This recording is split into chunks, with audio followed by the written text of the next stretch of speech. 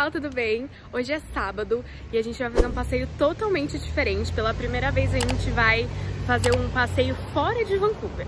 A gente vai numa cidadezinha que é bem próxima daqui, que chama Squamish. Então ela fica uns 40 minutos de Vancouver, então a gente precisa alugar carro. Então a gente tá indo agora fazer exatamente isso, que é pegar o carro. São agora 9 horas da manhã. Então a gente tá indo lá pegar o carro e depois eu mostro pra vocês e falo um pouquinho mais do que vai ser a viagem.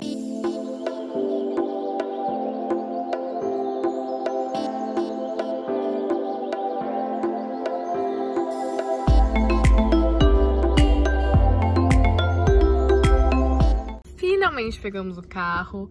É, foi assim, um pouco demoradinho o serviço aqui. A gente ficou tipo uma hora basicamente pra ver coisa do carro, deu umas enroladas ali, mas deu tudo certo. A gente ainda conseguiu um carro um pouquinho maior, né? Porque o Pedro é um pouco grande, que ele tá com a gente também.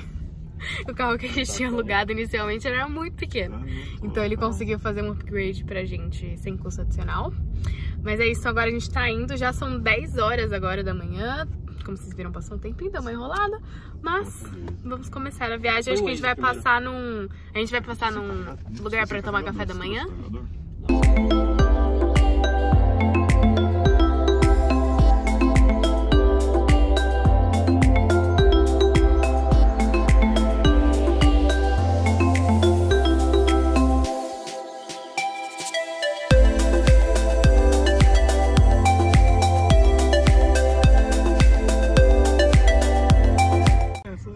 Paramos aqui no McDonald's pra tomar um cafezinho da manhã. Eu peguei um hash brown e o Matheus pegou um...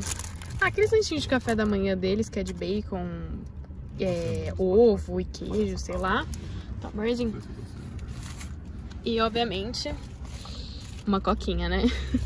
Bom, agora já devidamente alimentados, a gente já passou aqui pra North Vancouver. Então aqui onde a gente tá, pegou o McDonald's é em North Vancouver, que é um pedaço que a gente não tinha vindo ainda. É super, tem cara de tipo interior aqui, sabe? É super legal.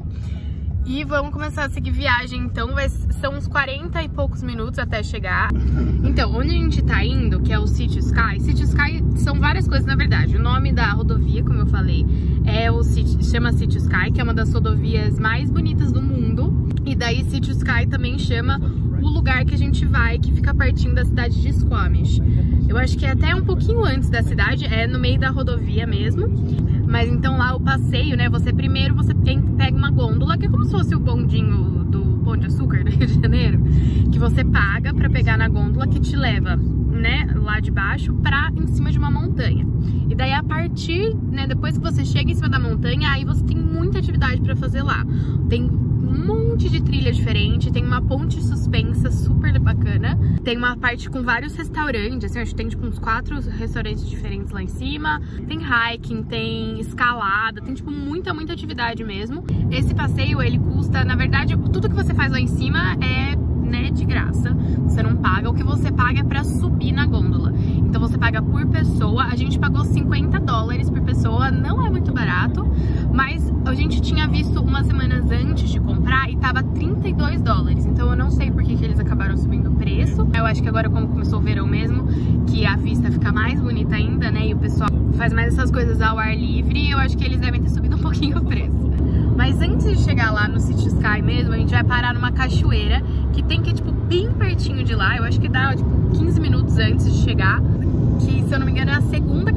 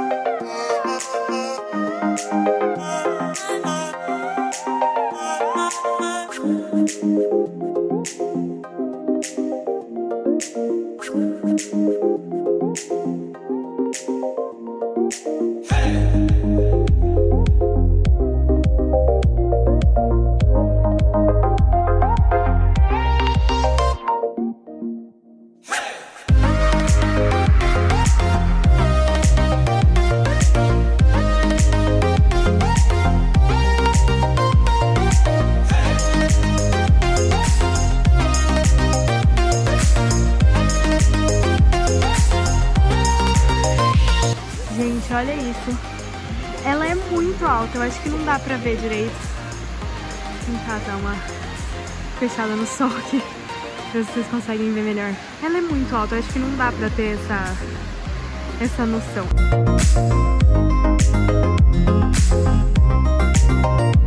A gente subiu mais um pouquinho aqui pra ter uma vista mais de, de perto de cima da cachoeira. E vale a pena, hein?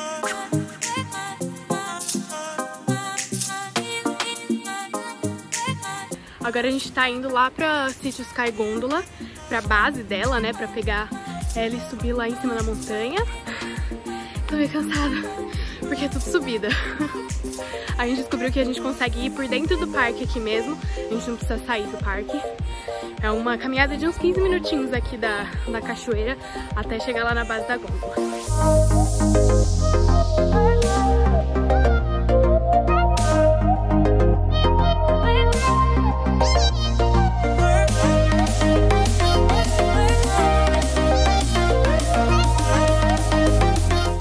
A gente chegou aqui no lugar, no lugar da gôndola. Aqui tem outro estacionamento que é maior até no caso. a gente já ter vindo aqui. Mas então agora a gente vai pegar nossos ingressos e subir. E daí é lá em cima que tem restaurante, trilha e todas as atividades. Tem também como você subir por trilha, lá pra cima.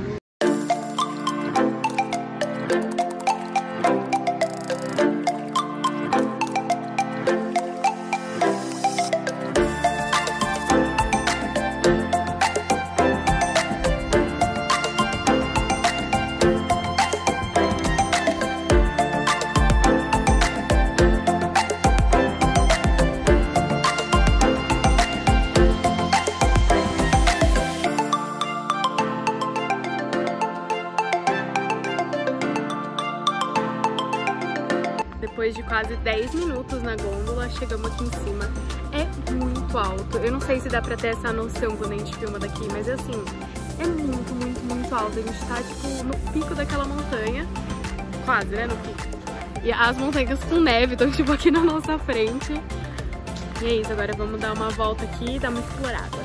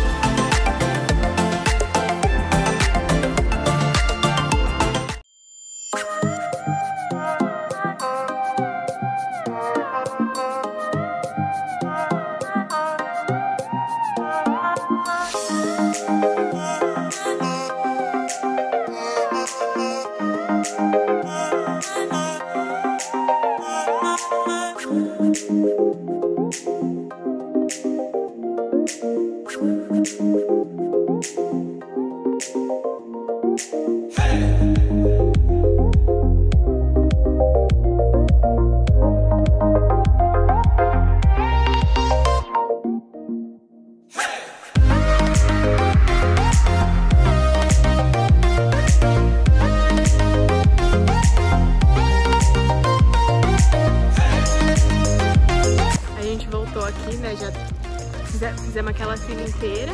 E agora a gente voltou aqui pro. Ah, pro meinho, né? Que é onde tem a gôndola e tem os restaurantes. E daí agora a gente vai fazer a trilhinha pra ponte suspensa. Que é super lindo. Pelo que vi pelas fotos, é tipo a melhor vista. É aqui já, não é nenhuma trilha, na verdade. Não dá cinco minutos andando e você já chega. Aqui tem mais uma, um deckzinho. E ali é a entrada da ponte, que vai até lá no outro lado ali do... Chega ali até naquela outra, na outro deck, que é onde tem um restaurante.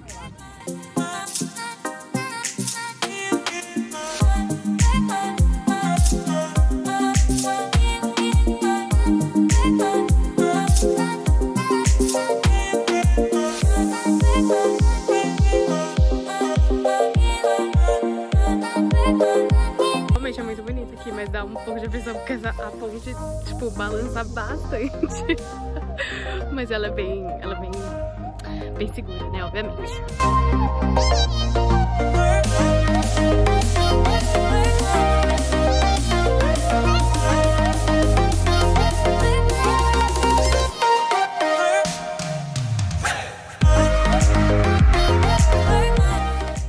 Depois da emoção da ponte, a gente parou aqui pra comer na... Naquele lugarzinho mesmo que a gente passou, lá em cima é, é onde a gôndola chega, né?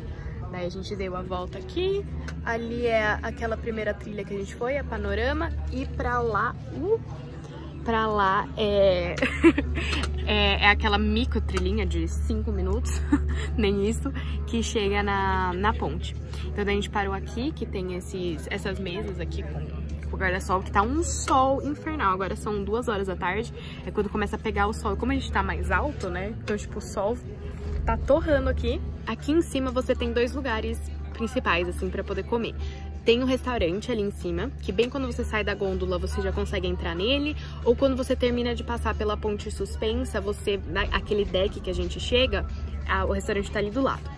É, que é um restaurante, restaurante mesmo, né, que você senta, garçom e tal é, ou onde a gente tá agora, né, que são essas mesinhas aqui, que tem várias mesinhas espalhadas aqui nesse pátio, e daí tem um lugar de cerveja aqui na frente, uma barraquinha com cervejas, e lá no fundo, que é onde os meninos estão esperando a comida, tem o, uma barraquinha pra você pedir comida, e tem várias coisas, a gente, pelo que a gente ouviu das pessoas comendo, assim, é... tem uma cara muito gostosa, tô ansiosa aqui esperando eles chegarem com a comida. É, tá meio demoradinho, já faz uns, sei lá, deve fazer uns 15, 20 minutinhos que eu tô aqui esperando. Mas acho que vai valer a pena. Eu vou tentar depois filmar um pouco melhor o mapa que tem ali, que eu acho que eu filmei tinha gente na frente. É, não vai dar muito pra ver, vou tentar filmar de novo. Tem muita trilha pra fazer aqui, de todos os níveis de dificuldade diferentes. Até agora a gente só fez a Panorama Trail, né, que é bem facinho. Acho que foi, sei lá, uma meia hora pra chegar lá naquele, naquele deckzinho. E a caminhadinha rapidinha até a, a, ponte, que é uma das atrações, das maiores atrações aqui, né? Essa ponte suspensa. E depois que a gente comer, a gente vai dar, né, obviamente, um tempinho. e vamos provavelmente procurar mais uma trilha pra gente fazer, né? algo que não seja muito difícil, né? Porque a gente não veio aqui super esportistas, assim, preparados, né? Gente, chegou a comida aqui. Olha isso, a gente pediu poutine pela primeira vez. Eu vou comer, eu e o Matheus ainda não comemos aqui. É a única comida que é típica aqui do Canadá. Ela, na verdade, é de Quebec, né? Que é lá da, do outro lado do país. É, mas é a única comida que é meio típica daqui. E daí a gente pegou, cada um pegou um lanche. Esse meu lanche é de frango. A gente tá com uma cara muito boa. E o dos meninos é de o quê? Porco. De porco. Não sei traduzir. é porco desfiado. Porco desfiado, é. Então vamos comer.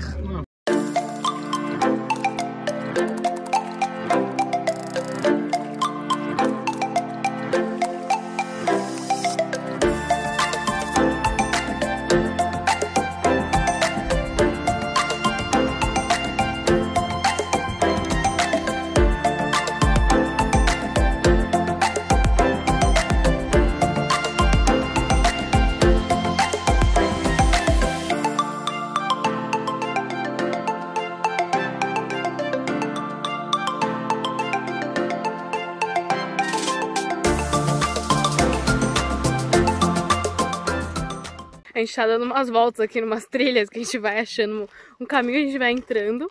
A gente tá aqui faz um século que a gente não encontrou outro ser humano. Então assim, não sei se daqui a pouco vai aparecer um urso aqui do nada. O Pedro enfiou a gente numa trilha que agora é só pedra e subida. Eu já estou descabelada, suane a suvaca. E a gente não chega em nenhum lugar. Bom, a gente não para de andar, mas ao mesmo tempo a gente não chega a lugar nenhum.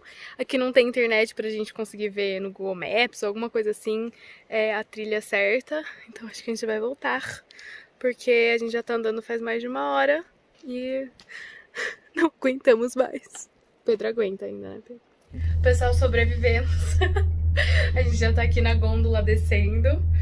Ah, deu uma cansadinha nesse fim, mas foi muito legal. Vale muito a pena vir pra cá. Tem várias coisas muito legais, várias vistas incríveis aqui. Tipo, sobe muito, é muito em cima da montanha. Pra quem é, né, gosta de esporte, gosta de trilha, essas coisas, isso aqui então é um paraíso. Tem inúmeras trilhas pra fazer ali. Mas ao mesmo tempo também é um programa que dá super pra fazer em família. A gente viu muita criança. Matheus falando oi pro pessoal da gôndola do lado. É, dá pra fazer um super passeio de família, tem até um parquinho pra criança ali. Mas é isso, morremos. Agora já são 4h50. A gente chegou aqui, era umas 11 e pouco, né? E agora, então, vamos descer, fazer, vou fazer aquela trilhinha, trilhinha de volta até a cachoeira e pegar o carro e ir embora.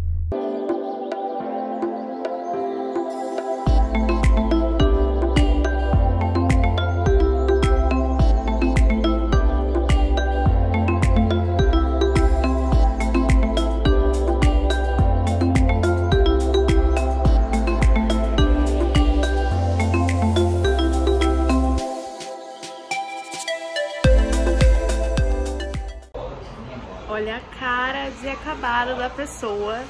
Saímos de casa às nove e pouco da manhã, voltamos às nove da noite.